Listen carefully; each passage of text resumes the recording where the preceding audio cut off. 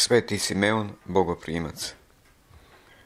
U vreme cara mistirskog Ptolomeja Filadelfa izabran bi i ovaj Simeon kao jedan od znamenite sedamdesetorice kojima bi poveren posao prevođenja Biblije sa jevrejskog na grčki jezik. Simeon se svoj posao savesno, no kada prevodjaše proroka Isaiju, pa dođe do onog proročanstva koje glasi Evo djeva će zatrudnjeti i rodit će sina. On se zbuni, pa uze nož da izbriše reč djeva i zameni je sa rečju mlada žena i da tako i prevede na grčki.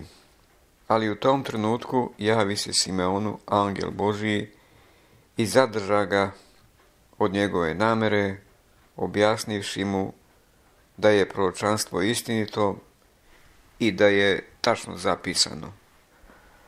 A da je istinito i tačno, reče mu još vesnik Božiji, uvjerit će se i on sam lično, jer po Božjoj volji neće umreti dok ne vidi Mesiju rođenoga od devojke. Obradova se pravedni Simeon takvome glasu s neba, ostavi proročanstvo neizmenjeno i zahvali Bogu što ga udostojava da doživi i vidi obećanoga, obećanoga sa velikim počnim slovom.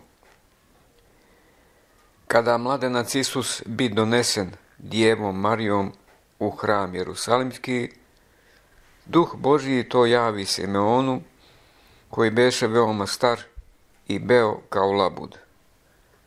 Simeon brzo ode u hram i u hramu poznade i djevu i mladenca po svetlosti što zracaše oko glava njihovih kao oreol. Radostan starac uze Hrista na ruke svoje i zamoli Boga. Sad otpuštaš u miru slugu svojega, gospode, po riječi svojoj. Jer videše oči moje spasenje tvoje. Sveto evanđelje po Luki 2.29. Tu se desila i Jana proročica, kći Fanuilova, koja i sama poznade Mesiju i objavi ga narodu. Ani je tada bilo 84 godine. Uskoro potom predstavi se sveti Simeon. Ovaj pravedni starac Simeon smatra se zaštitnikom male dece. Tropar glas prvi.